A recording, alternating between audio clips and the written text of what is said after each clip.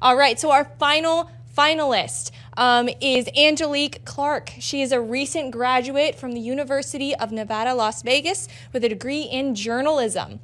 And she is a former uh, she's a former student who's been involved in many SFLA leadership programs. This last year, she did the Students for Life Action Captains program. So she was involved in a lot of our political activism opportunities. Um, she has an innovative idea on how to use her hand painted pro life apparel to help activists create sustainable, culture changing movements internationally. Her activism began in high school when she had to file a lawsuit against her school to start her pro life club. Her activism began in high school when she had to file a lawsuit against her high or against her school for denying her free speech right to start a pro-life group. She has since de dedicated her life to abolishing abortion and has been actively involved in the movement by painting, speaking, and advocating for life all over the world. Please welcome Angelique. Thank you.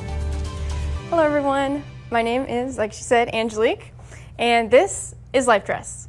So Life Dress is a hand-painted pro-life apparel brand to start conversations about abortion in a unique and creative way.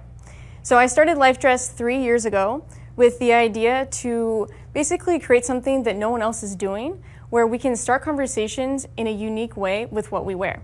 Um, so the first dress I painted was for a pregnancy center gala that I went to, and then the second dress I painted was for actually a Students for Life gala in Denver, where uh, Kristan actually was interested in getting a dress.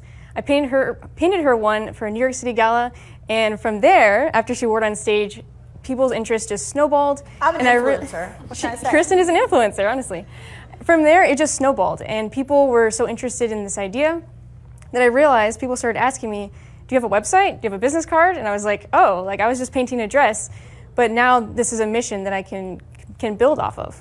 Um, so Life Dress is encompassing a much larger issue, of course. So the larger issue is the fact that we want to abolish abortion across the world. There are over 125,000 abortions performed worldwide every single day. So this is a global issue, and this needs a universal solution, a solution that can work in every single culture across every single country. And I believe that a universal solution is art. Because ultimately, when words fail, art speaks. We can realize that no matter where we go in the world, we can show someone a picture of a fetus, we can show someone a picture of a mother and her child, and they know that means life, that we should value and protect and love all human life. So, what makes Life Dress different? Well, Life Dress is everything in Life Dress is hand painted, it's thrifted, it's one of a kind, just like every single human life. And the idea behind the idea of thrifted clothes is something I call the human rights injustice trifecta. This is simply fast fashion bleeding into human trafficking, and that, that's linked to the abortion industry. So by using thrifted items for life dress, I'm raising awareness against fast fashion and these connections to human trafficking in the abortion industry. So every life dress tells a story. So these are just some examples of people who have purchased life dress in the past and worn their life dress item out in the world to start conversations about abortion. One example up on the top is Alicia. She purchased this dress and actually wore it to the Berlin March for Life in Germany. So as you can see, Life Dress has plans and has gone across the globe. Over 600 life dresses um, have been painted, sold, and ha have the opportunity to reach thousands of people and start thousands of conversations. And every message on these life dresses is different. So my goal with Life Dress is to not just recreate the same design over and over, but to create a unique design on every dress, just like every human life. So it encompasses every aspect of the pro-life movement, whether it's about supporting pregnant um, women who are facing unplanned pregnancy, or if it's about just reaching people about how we should value human life from the very beginning. Um, in addition to all of these amazing testimonies about people wearing life dresses, it's also an amazing opportunity for post-abortive women to share their testimony. So this is Jenna. She ordered a life dress, uh, custom made, and I painted Every Life Has a Place in My Heart, and it features two babies with wings to represent the two abortions that she had alongside the children that were born. And this is a powerful testimony that she can wear and walk out into the world with and start conversations and, and maybe reach a woman who maybe needs that healing from her abortion. So as you can see, this isn't just a clothing brand. It's a movement. It's a mission. But we can sp spread this message even further. It can go so much further than just wearing dresses and starting conversations. There's so many platforms and ways we can use art and creativity to abolish abortion. And I propose three primary outreach channels. The first one is printed t-shirts, basically taking all the unique designs from LifeDress and making them across the entire world. So there's only so many hours in a day and painting life dresses takes a lot of time, just being honest. So there's only so many life dresses I can paint and so many conversations people can have by wearing them. So by taking all these unique designs that I've gathered over these years and putting, putting the most popular ones on t-shirts, we can take these messages and spread them across the world. The second outreach channel is pop-up shops. Um, and these will be markets and festivals and places where the pro-life presence may not exist, but we can go into them with LifeDress. And lastly, creative activism workshops. So these are going to be a unique approach to helping equip activists in all pro-life organizations with the ability to create their own sustainable, entrepreneurially minded uh, pro-life outreaches. So the first uh, channel of outreach is, like I said, um, adding uh, life dress designs onto pro-life t-shirts and bringing them across the world. So these are some examples of some of the shirts I've painted in the past. As you can see, there's a lot of different messages, taking down Planned Parenthood, time for a post-Roe nation, equal human rights for preborn human life. Every, everything you can imagine of a message we want to share from the pro-life movement is represented in Life Dress. The second outreach channel are pop-up shops. So Life Dress pop-up shops are a way to bring the pro-life message into markets and festivals that wouldn't have a pro-life presence otherwise. Um, and so these are settings like festivals and markets and handmade um, shops where we can start conversations about abortion where people may not be um, confronted with this, with, with this message. Um, so I decided to test this idea with my small scale version of the Accelerator project and I went on winter and spring tours. So I decided that I'm going to try and see how this works in real life. So I went on a winter tour to Washington, D.C. The Pro Life Summit was my first one, St. George, Utah, Berkeley, California, Oklahoma City. In the spring, I went to Las Vegas, my hometown, Henderson, Colorado Springs, and Phoenix. So these were all different demographics, different places, all these different ways that we could reach people and start conversations about abortion. So these are some pictures from that. So you can see I pretty much just brought the message of Life Dress both in the physical form with this art and creativity with wearable art and with my message and ask people questions. I asked people, when should human rights begin? I asked them who deserves the right to life and had conversations with them in eight cities, thousands of interactions, and hundreds of conversations. So taking this uh, idea of bringing the pro-life message with art and creativity, I want to be able to take this so much further. And so last year, I went on a mission trip, a pro-life mission trip to Uganda and Kenya. And I heard from a lot of students there that they have so many ideas and so many ways that they can reach people with the pro-life message, and they can save so many different lives, but they just don't have the funding they need to do it. And through these pop-up shops that I've had and being able to generate some income with, with pro-life message and be able to start conversations with the pro-life message at the same time, I realized this could be a perfect way to help pro-life organizations across the world fund their activism. Because ultimately, we can't continuously, continuously fund every activist across the world with their pro-life message, but we can equip them to use creative and effective ways to sustain themselves. So this is an example of exactly what I'm talking about. So you can see a visual. So while I was on this uh, training in this camp last year in Uganda, I was teaching and training on the message of using our unique passions and gifts to further the pro-life message. And while I was doing this, I realized the students were engaged and they were interested and they were excited to share this message to their communities, but they didn't have a hands-on understanding of what I was, what I was getting at. So I had this white skirt that I'd brought with me, and I have absolutely no idea why I packed it, but it ended up becoming the start of something um, beautiful. So I decided towards the end of the camp, let's have these students paint their own life dress. So I had them um, sit down, they painted all these beautiful pro-love, pro-life messages on this skirt. And after that camp, I listed it on lifedress.org, It sold within a few hours, and all the money, all the proceeds from that skirt went directly back to that camp. So those students could use that money to further their pro life outreach. But it didn't just give them that money to start their pro life outreach, it equipped them with those trainings and the inspiration to use their own passions and their own creativity to further their movements. So, as you can see, these creative activism workshops encompass three main takeaways creating, funding, and sustaining. So, not only are these, are these activists able to create something with their own hands and use their passions that, that uh, can spread the pro life message, but these also will go to funding their own pro life movements. And funding is such a critical aspect of pro life organizations across the globe because everyone has, every pro life activist has a dream to abolish abortion and to do whatever they can to ending this, the greatest human rights injustice of our time. But oftentimes they just don't have the funding they need to do it. So the third, of course, is sustaining. Because with this information, with these resources that LifeDress can provide, they can continue to, to further their work in the, the same similar um, entrepreneurial minds, mindset and structure that LifeDress has. So what makes this project completely unique and different than any other organization out there? Well, LifeDress is going to be partnering with pro-life organizations on a global scale to help change pro-abortion culture in an innovative, sustainable, and creative way.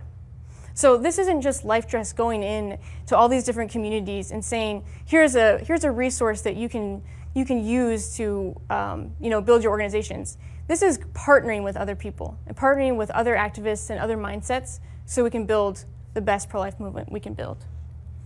Because ultimately, we can do this together with your help. One life dress, one conversation, one country and community, one person at a time. Thank you. Well, Thanks, Angelique. That was great. Uh, it's exciting because we have all known Angelique since she was in high school, had to sue her high school. Um, so we're very excited uh, to have you here. Um, and obviously, as the first pro life leader to ever wear a life dress, I was very excited. Uh, but thank you for coming to the baby Shark Tank um, for the babies. Okay, so um, a couple of thoughts I had. Uh, you know, we've certainly have seen especially with our friends in Canada, the National Campus Life Network's kind of like our sister organization up there. They do not have a First Amendment uh, freedom of speech, if you will. This is really interesting to me because you know they are not allowed to have certain flyers on campus or even show pictures of children in the womb living. Um, but this would would would something like this kind of escape some of the regulations because you're wearing your message I definitely see that. I can see that definitely kind of passing over regulation, saying this is just how I express myself. Yeah. You know, when you talk about art, it's subjective, so it's, my it's gender identity yeah. pro life. Yeah, it's fluid. yes, it's fluid, and my pronouns are save the babies. Okay, no, um, no, I, th- that was interesting to me. I guess my biggest question is what do you see as your biggest obstacle in scaling this? Biggest obstacle I would see is probably just being able to connect with the pro life organizations that I want to work with, which is one of the main reasons why I'm so excited to be potentially part of this uh, grant and this program because that's the main hurdle I see is just being able to find the people who are interested in using art and, and changing culture that way. Um, so I think that's probably one of the biggest hurdles I can imagine. Okay, so yeah, you'll need connections that we might have made, and since I'm an influencer. I need your influence. Yeah, so no, it'd be great because then you can get a lot of folks to come on board and kind of hear about Life Dress and bring this to their country. That's awesome. Have you started giving out? Sorry, I have lots of questions. I give uh, uh, have you started giving out like postcards or like any sort of cards? So when you get your life dress, like here's your life dress now go to your walgreens and put this in front of plan b or you know do some kind of activism. mm-hmm. i actually do there's actually a card in each of your folders i provide you. So that goes with all of the life dress orders i ever send out for the past three years i've had life dress. Um, so that is just a card to talk about what life dress is and it will bring you to the website. Um, I recently just relaunched my website the past month where it has way more features and the goal is to have people go to that website and we'll have resources for for people who are maybe in an unplanned pregnancy. Um, so that's definitely a way to yeah have outreach and have activism that way. So Yeah, I encourage you. Students Life has some great material resources. You just pass those out, make them do some work too after they get their draft. Yeah, that's actually another aspect I was hoping to do is have some kind of activism kit, partnering with Students for Life and other organizations to send to everyone who orders a life dress. So I I could see this um, really having a lot of potential, you know, and taking off. in every culture, you know, has so many unique ways that they approach art and conversation. Um, and I think you know, reading through everything, it's been really really awesome to see. And it really is, you know, so I, I like the wording that you use. It's a spark. You know, it's a first encounter with maybe the pro life message um, with somebody, and it's a joyful one. You know, when you see such colorful and beautiful art on somebody's apparel. And so, you know, I guess my question is what is your strategy and your plan after um, somebody, you know, starts to wear one of your pieces and encourages their friends to? Do you have plans for? you know, follow up trainings, um, some sort of way that you can encourage them to continue to stay active. So it's not just, you know, buying your apparel, and maybe that's the case at times, um, but really just increasing awareness and the activism because I see that's definitely a part of your plan. And so I'd, I'd love to hear a little bit more about, you know, where you hope to take the training aspect and relationships with some of your approaches to other countries internationally. Right. Thank you. It's a great question. Um, that's definitely one of the biggest visions I have is being able to equip activists once they have a life dress. Um, because I definitely don't want it to just stop at, oh, you placed the order, I shipped it, bye, I'm never going to talk to you again.